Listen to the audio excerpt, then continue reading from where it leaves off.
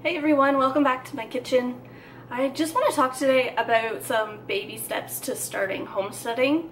Um, this is one of the meals that definitely helped save us on our budget in order to give us uh, more room to be homesteading and doing more homesteading-like activities when we were just getting started. We started homesteading roughly in 2018 in our small house. Um, we had one tenth of an acre and it was a semi-attached house. Um, so our backyard was fully fenced, um, but our neighbors were right on the other side of that fence. So making homemade pizza um, saved us a fortune. We are the type of people who like to eat pizza once a week and is often like our easy takeout meal, but it's also really easy to make at home.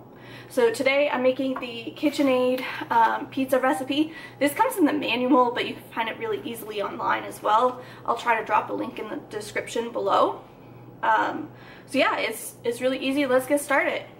Okay, so the recipe calls for one packet of yeast. I have um, some quick rise yeast here that I purchased in a bottle. It's much more affordable that way. And on the side, it's gonna tell me that two and a quarter teaspoons equals one packet of yeast. So we're gonna add that to our KitchenAid.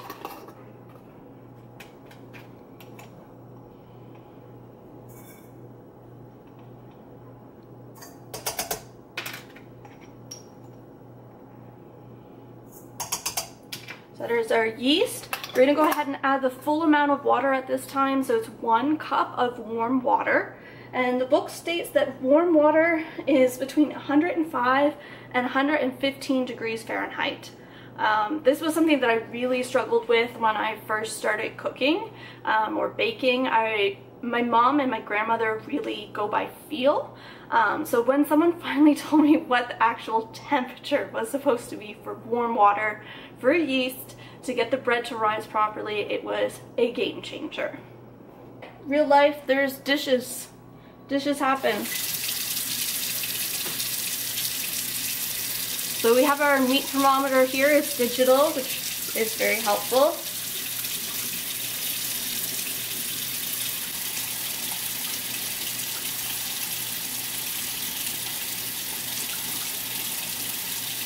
All right, 98.2. So we're gonna go ahead and get our cup of water. Close enough. We're gonna add that to our KitchenAid.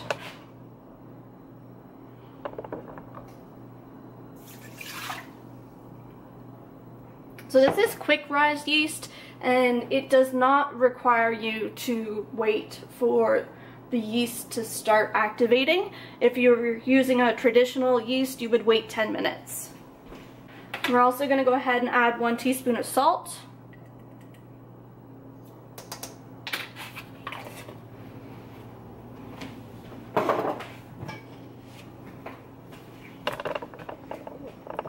This is two teaspoons of olive oil. I have avocado oil today. That's just fine. A light neutral oil like that is fine.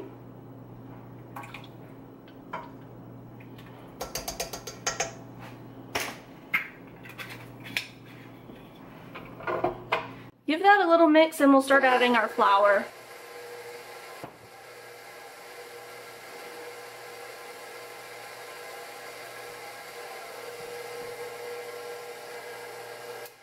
So we're going to start adding a half a cup at a time or in half a cup increments. And we're going to add two and a half cups of flour. Chris likes a thinner crust and I find using less flour makes the dough more stretchy um, and allows me to roll it out to that thinner crust.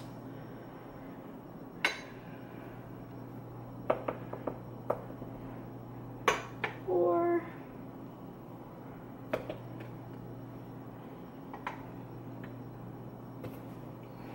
All right, we'll get that going.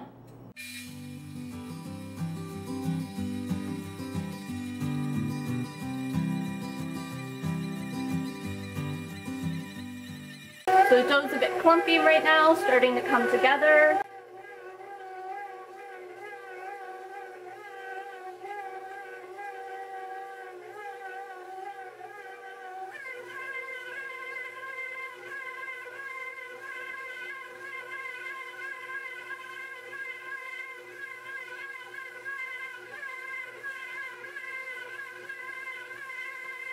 We're gonna let that go for another two minutes.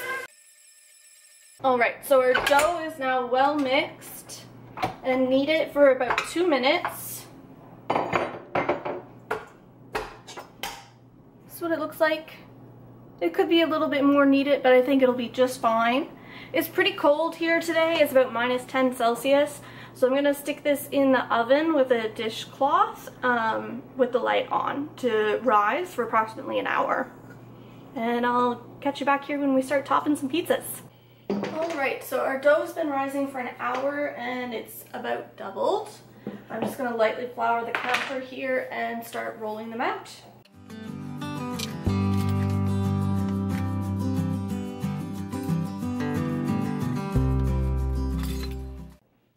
We are working with half the kitchen today. Our first bit of our kitchen renovation has been completed. We now have new cabinetry. Um, we'll have new floors here in a week or so. And then um, we also are getting new countertops. And because they are a stone, um, they come and laser measure them. And then it takes two weeks until they install them. So I'm to be with these temporary counters for a while. I still have my old rolling kitchen island here, which is what I'm using today.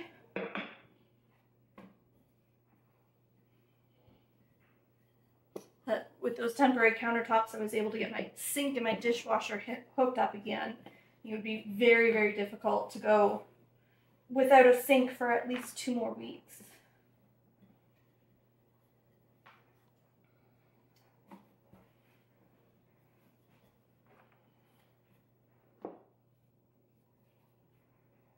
So I put some cornmeal here in the cast iron pan and add in the dough here.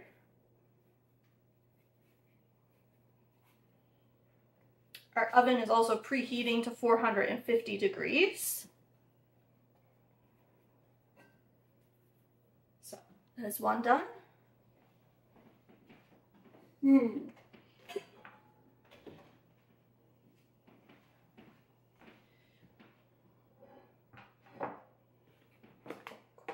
to this pan. And the remainder of our dough.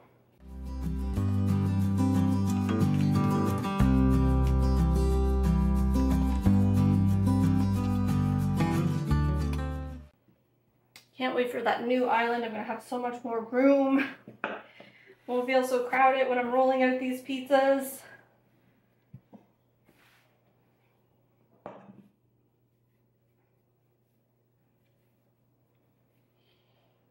All right. So pizza dough number two, front fork. I'm just gonna go ahead and pierce the dough um, so that we don't get those big bubbles.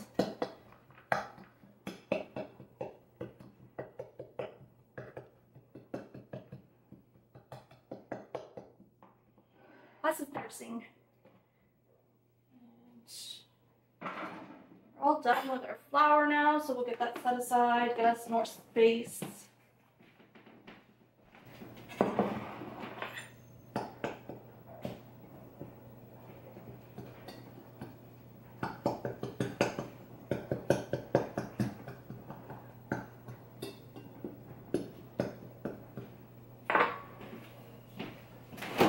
Alright, so I forget often that this is a East Coast Canadian thing, but we're also making garlic fingers. I bought some garlic spread at the store. Um, this was from before the pantry challenge started. And I'm just gonna slather this on the pizza dough, top it with mozzarella cheese, bake it. And from our demo day, I have some extra donair sauce left over from the pizza that we purchased. Um, so that'll be really good. That's an extra treat that we don't normally have.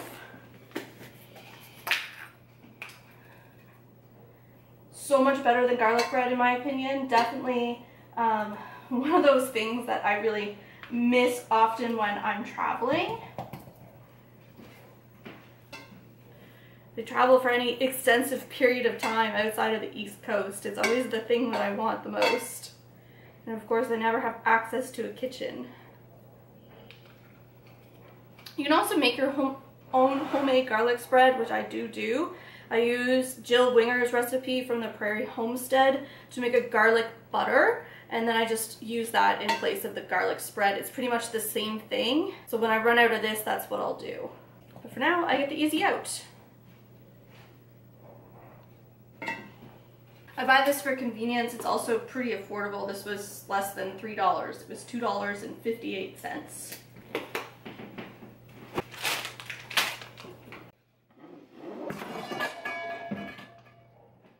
All right, I found a cutting board.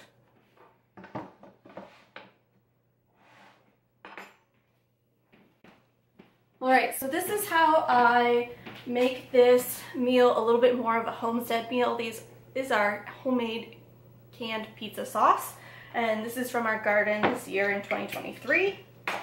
It's pretty liquidy. This was my first round, a second round of pizza sauce, um, and I should have cooked it down a bit more, but just add a whole bunch and still tastes like pizza. So now I know I just need a thicker texture when I'm actually cooking it. Sometimes I expect things to finish thickening up in the water bath canner and that's just not how it goes. Oh no. Oh. I've got some peppers left. I've got one that's not moldy here, so I'm gonna wash this up good and we'll use that on our pizza. These ones are gonna go in the compost. All right, so that pepper did not meet my inspection. So I've got some salami left over from a salami trio that I bought at Costco. That's gonna go on our pizza. We've also, all of that on our pizza. I'll also find an onion and uh, maybe some candied jalapenos or cowboy candy because um, that's good on a pizza too my little baby onions. I didn't grow these, but I did buy them locally. All of the Nova Scotia onions this year are extremely small.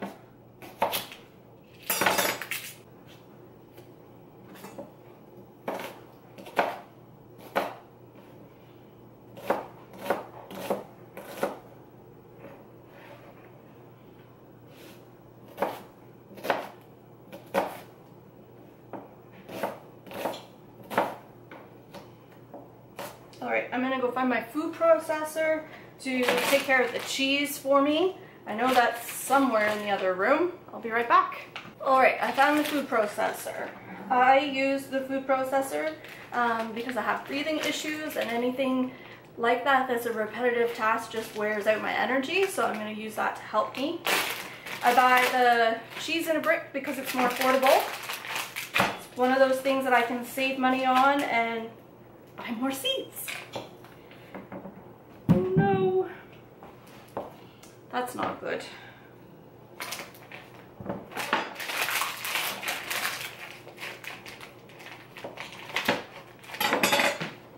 See if that gets us enough.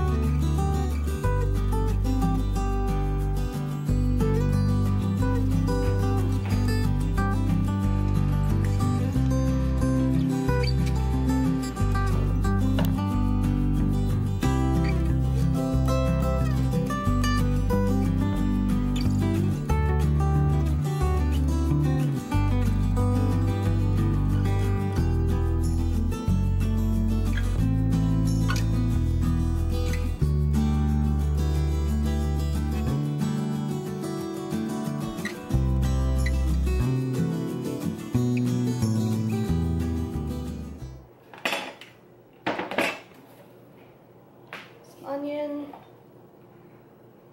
Not my favorite thing, but get a vegetable-ish on this pizza. Chris really likes it. And when you put enough cheese, you can't really taste it.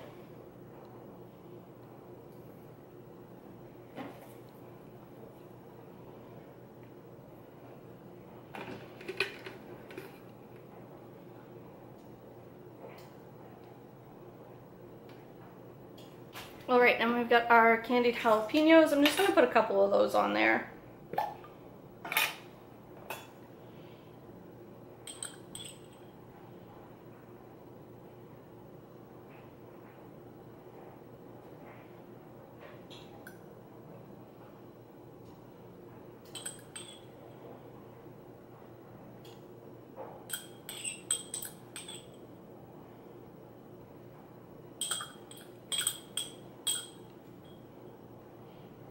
And that's another jar empty. So we'll bake these for 25-ish minutes at 450 degrees once that oven preheats, and that'll be dinner for tonight. Another delicious meal on the homestead. I'll catch you guys on the next one. If you like this content, please like and subscribe.